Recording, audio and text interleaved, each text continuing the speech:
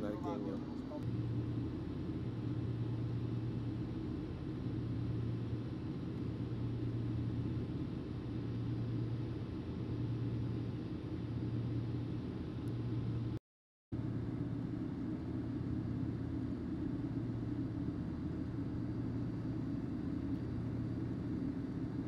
Ascolta, ha chiamato quello del bianchi